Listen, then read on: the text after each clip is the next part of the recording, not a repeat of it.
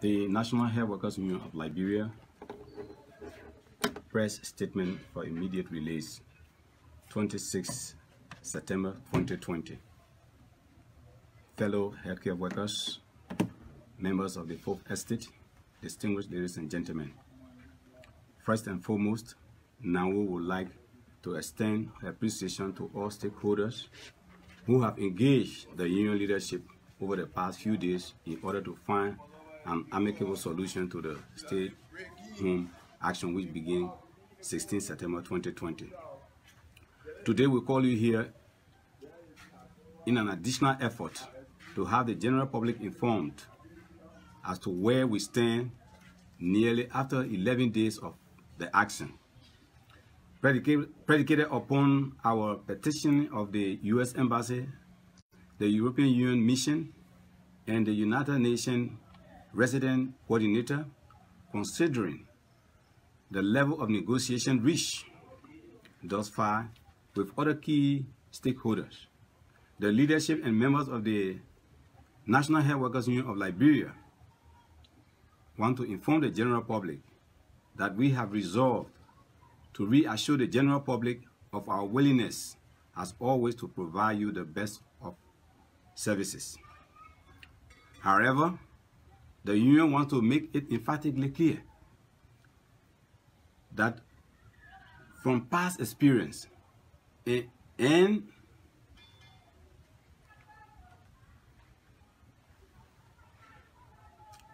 pardon me, the union wants to make it emphatically clear that from past experience and in line with international best practice, after every strike action, there must be a memorandum of understanding that spells out terms and conditions under which the action has been called off, a plan of action for the timely resolution of outstanding issues, and the protection of all striking workers. Henceforth, we call on the government of Liberia to act on the following points timely for the earlier mitigation of stay-home action. Number one, to immediately start the disbursement of the 2 million US dollars into the account of healthcare workers in both the public and the private sector across the country. Two, provide a clear roadmap on NAHWUL certificate process as discussed in previous meetings. Three, that there be a comprehensive memorandum of understanding signed between the government of Liberia and the National Health Workers Union of Liberia for resumption of work across the country. NAHWUL is grateful to all partners for their commitment to provide drugs and medical supplies to public health facilities across the country. Ladies and gentlemen, I thank you.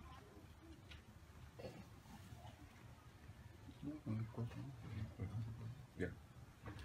Yeah, my end, I'm never Gardner Ramon. I work for News Public Trust.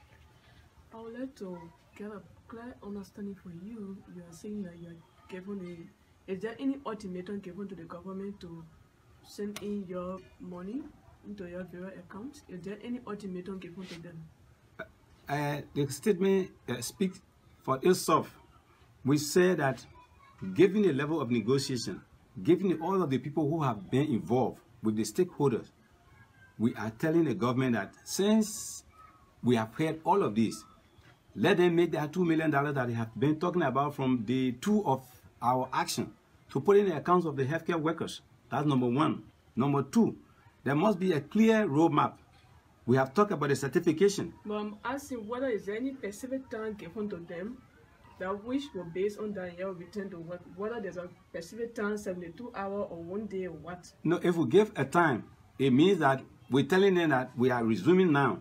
These are conditions that when they, when they should have met, that will give a room for the resumption, like we said.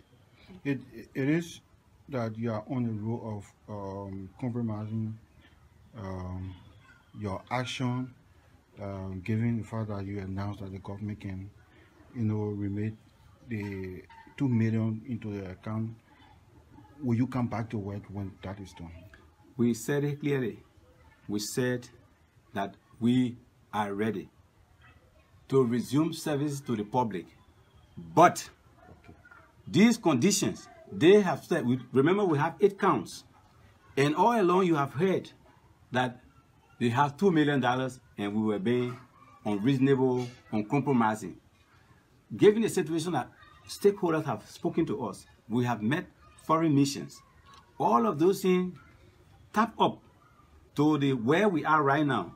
We also want to let the public to know because they are telling people that the leadership is the one that is holding the, the country hostage. We are saying that is not the way. All of the all of the count that we have given, we have given at least a minimum that they are, they can settle. We talk about about about salary increment.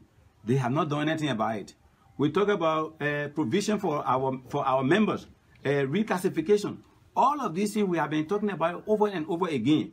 But given the situation that other people have spoken to us, when you negotiate, it is a give and take. I think we have given it a minimum that they should, they should, it is upon them now to act on it for us to, to, to move forward. So On- one on- of a, a touch, Yes. meaning that you will return to work. One of them. No, no, no, no, no, no. These three things that we have stated, they are intertwined. You cannot put the two million today, you expect us to go to work. Because what, what is going to happen is this. They have already started witch hunting. While they were making peace, they were sending people to our, to our places of work. They were also threatening to sack our people. In fact, you read from Minister uh, Eugene Nagbe that we are considered dismissed, even though they are still coming to us and talking with us there must be a blueprint that in the memorandum of understanding that will spell out that there will be no witch hunting, that our people, yes, of course, we know what they have said. How after two months they have planned to transfer our people from point A to point Z. So, but th- these are things that it must be spelled out, not because you made two. In the first place, the value of the two million naira we talk about is the twelve dollars and fifty cents. But given the situation that we are serving the humanity, we are serving the Liberian people, we have seen that the way to go forward is to give them the minimum that they say they have so that they, they can they can they can act upon it.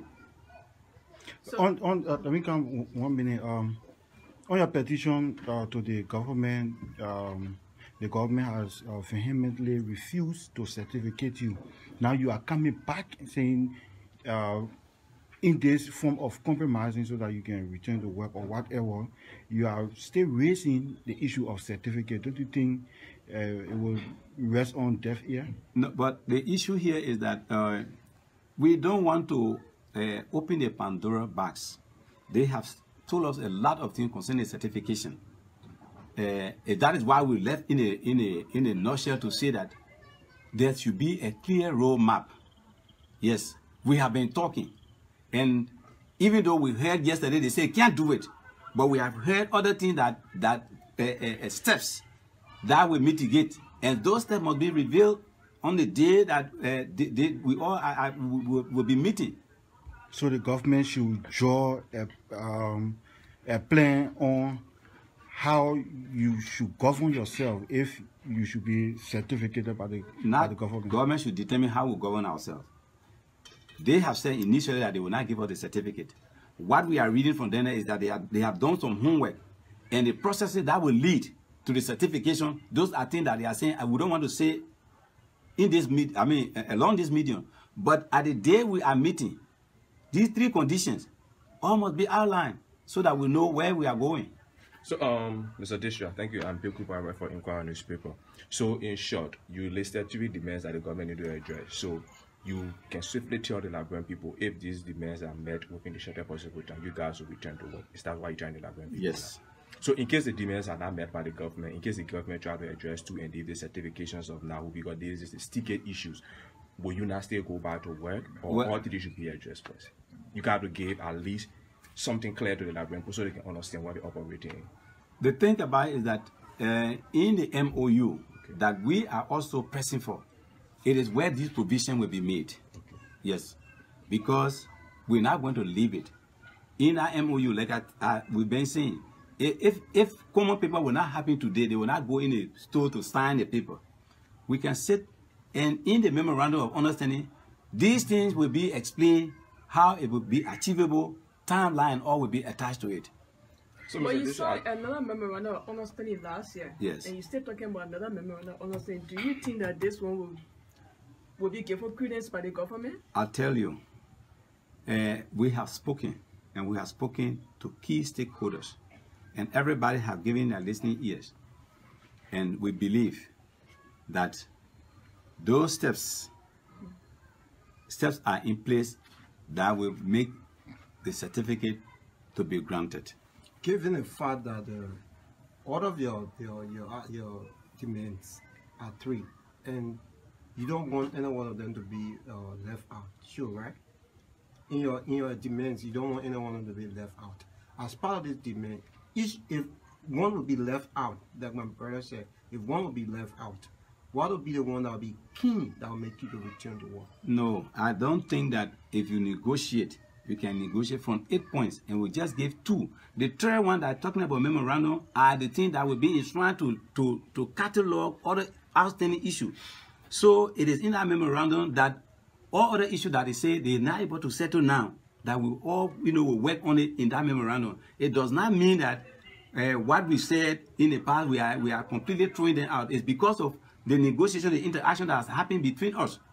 It is where we are going because we have been talking. Yeah, Mr. Joshua, let me come in one minute. You kept talking about memorandum. Is there any new memorandum being signed by you and the government, or are there plans to meet the government dialogue and sign a new memorandum? Those issues that we raise, those issues are still on the on the book. For instance, we talk about salary increment.